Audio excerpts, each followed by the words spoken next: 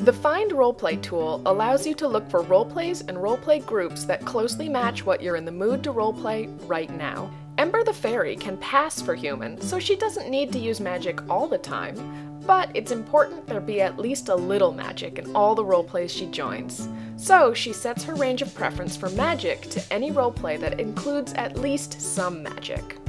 She isn't a Stone Age character, but she also isn't modern, so she chooses a narrow range of allowable technology in the roleplay. Anything from Bronze Age to the Renaissance. Finally, she doesn't enjoy combat at all, so she puts both of the combat handles all the way to zero. Now, Ember sees games where she'd be the perfect fit. Bernard may be a jester, but he takes his craft seriously. He's replaced his left hand with a flamethrower, there might be some magic in his world, but it's less prevalent, so he sets his magic preference range to the lower end of the spectrum.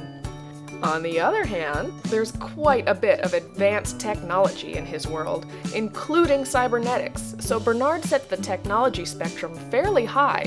Bernard is combat capable, but he also wants to make sure there's a lot of interpersonal character interaction, so he adjusts the slider to match. Presto! Here's a group where Bernard will be right at home.